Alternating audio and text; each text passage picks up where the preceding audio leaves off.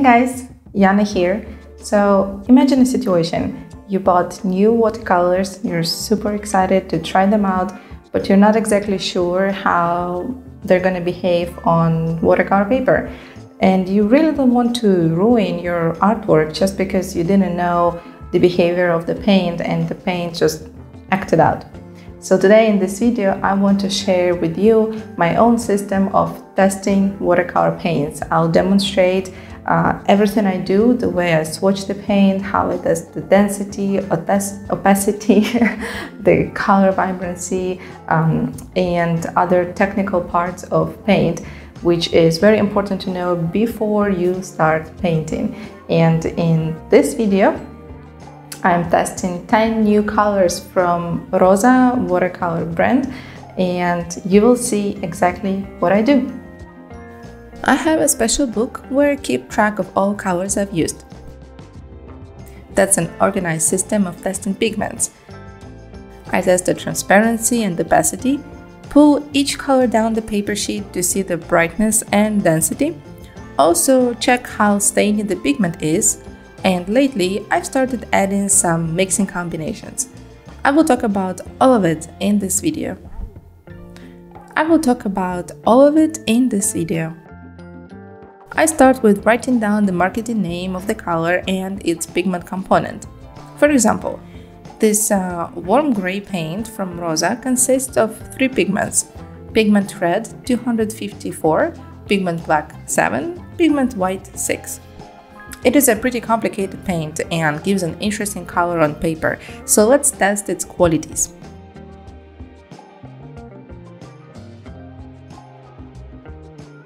First I covered my rectangle with a flat wash of warm gray um, to see its plain color.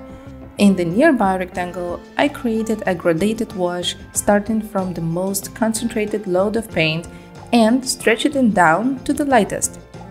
This way I can see the density of the paint. At the same time, I'm painting over a black line to see whether the pigment can cover it. This tells me about its opacity features. A larger space I work with on the left just gives me more data.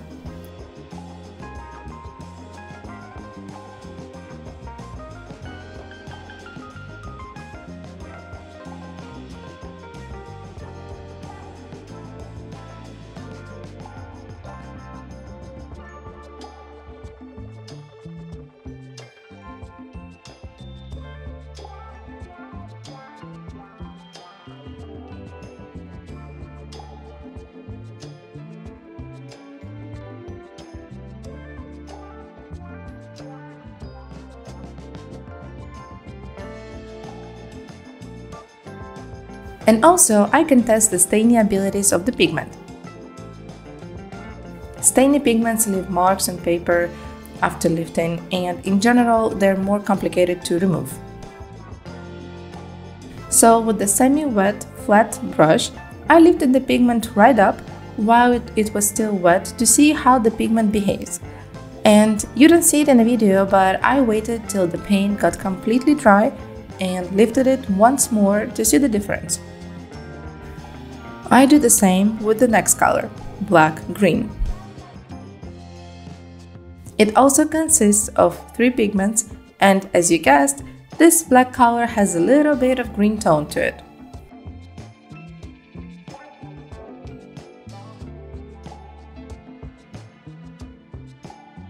While testing this black color next to other black colors of other brands, I can see how different this one is. Just like warm gray,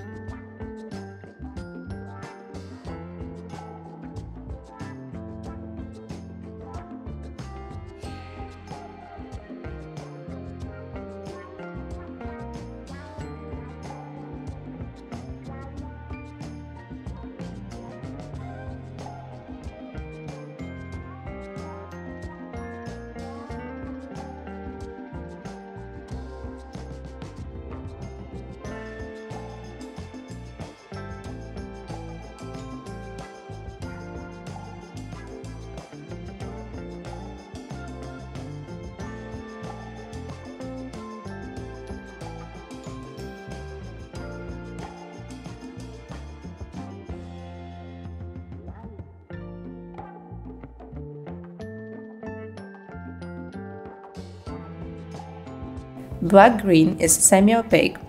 It is easy to lift, but it can't be removed completely from paper. It leaves a light stain anyway. The next paint I'm testing is a couple of yellows from Aureolin Group.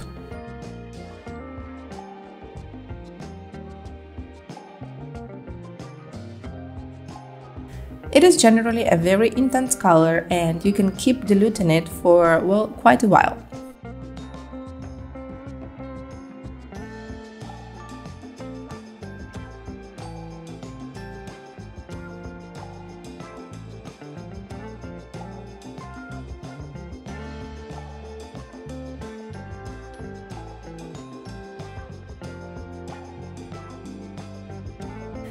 Reminds me of Gamboge, which is no surprise because both have the same pigment inside.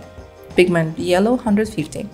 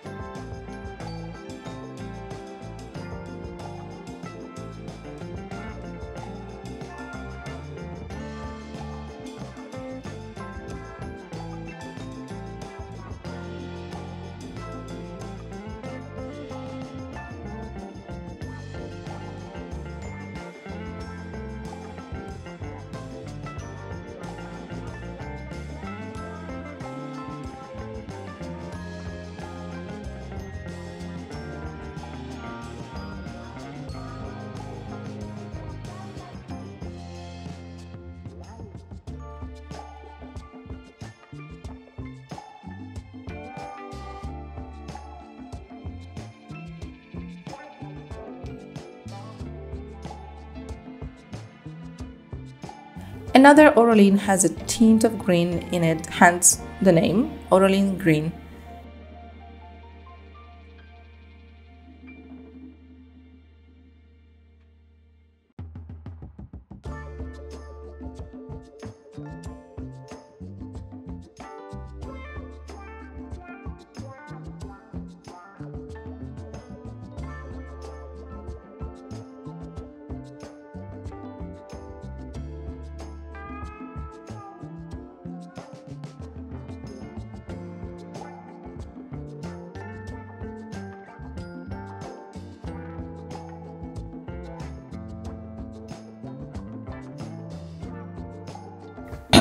the look is pretty interesting. In my other video, you can see me painting fruits using the paints I'm testing here today. Such a greeny yellow is a perfect color for what I did there.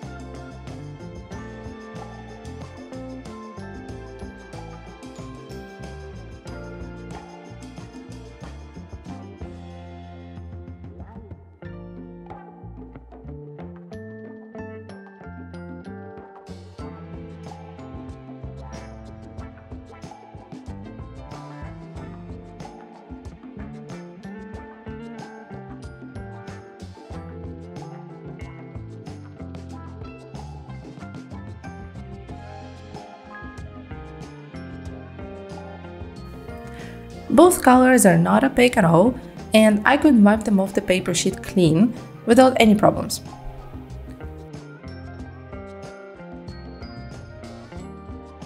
Next in line is Royal Brown.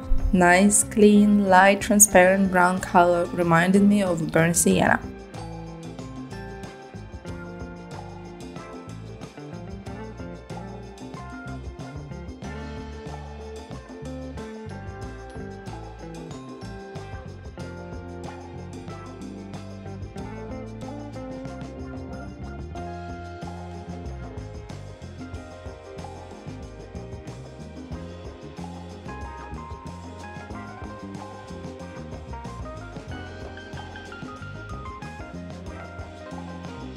You can achieve really intense colors with this paint as well as dilute it down to an almost invisible light tone.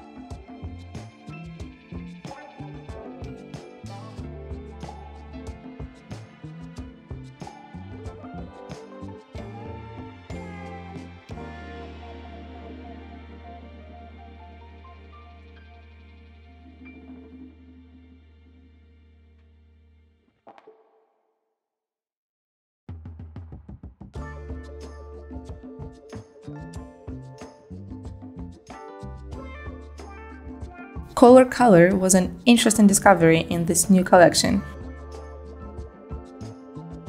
It has three pigments inside.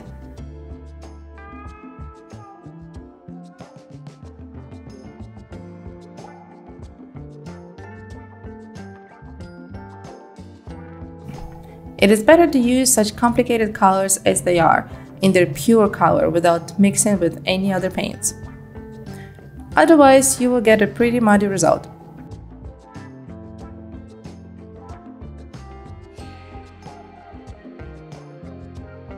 Because of the white pigment in its content, the paint is pretty opaque. It noticeably covered a black line. White pigment also gives a matte tone to the color. I place coral into the section of reds in my book because the other two pigments inside are red.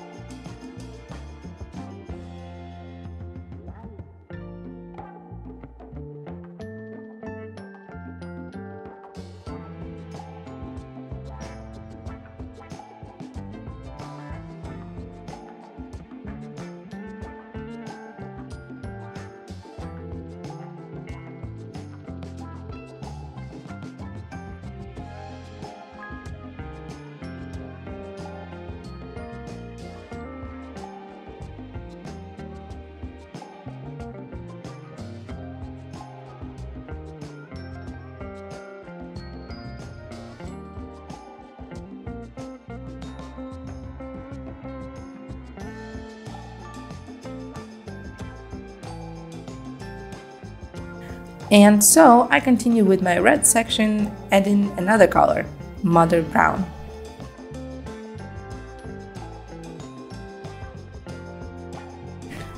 Can be misleading because of the name, but pigment content is clear. Pigment red 101, pigment red 264. And yet the color leans towards warm brown just like royal brown I've tested earlier.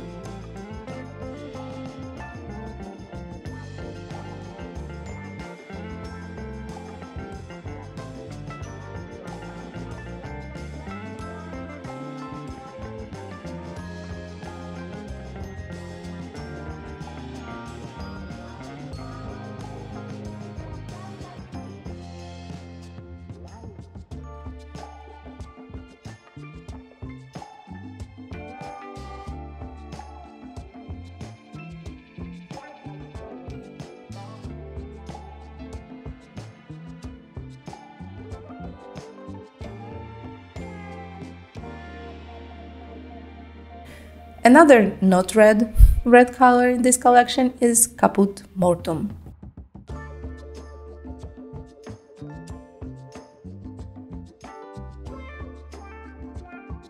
A promising name, grainy texture with granulation, quite difficult to gain density as well as stretch out the color.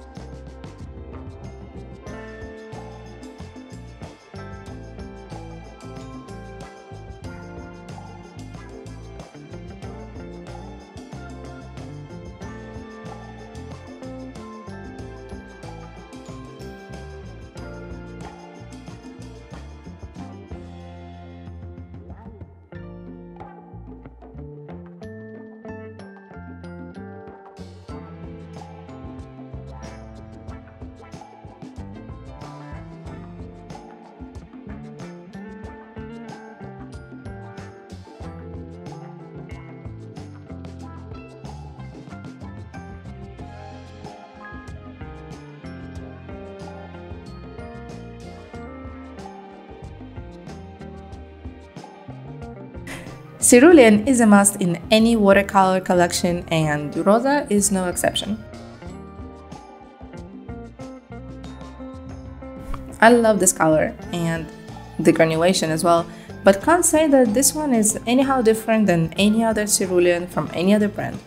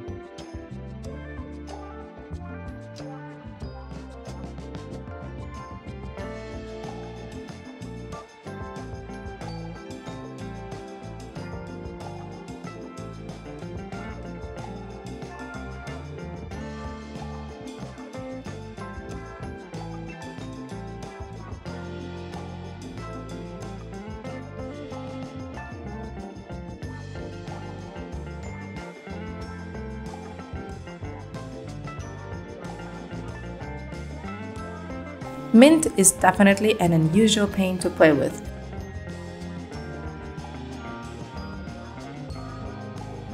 It contains two pigments, quite thick and matte due to white pigment in it.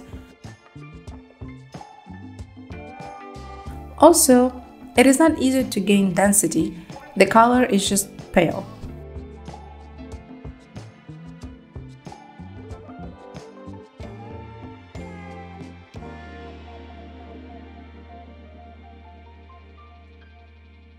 Not exactly the mint I would imagine, but can be used as a pure independent color to paint specific subjects.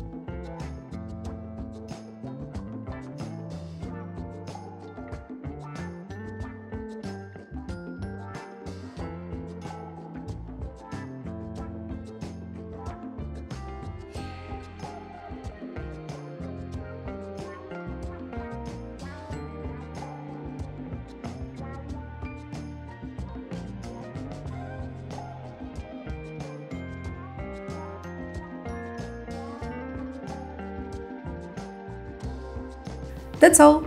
I just need to put back my new members of watercolor family into my test book.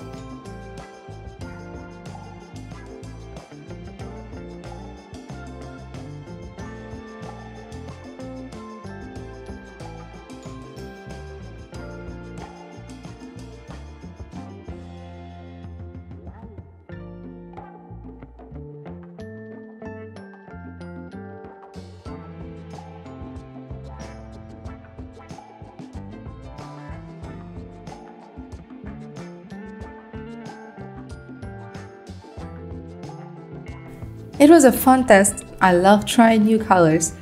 Brands are going above and beyond mixing unusual combinations to achieve unique tones. This makes it easier for artists who work with pure pigments and in single layers. Hope you enjoyed the video! Now you know how I test new watercolor paints. This is really the time when my nerdy self takes over my regular chaotic self. uh, but if you have your own uh, system of testing paints, I would be very excited to learn about it. Please do share in the comments below. And also I will be very grateful for your support. If you like and subscribe to this channel. And well if you don't want to miss other videos about all artsy and creative stuff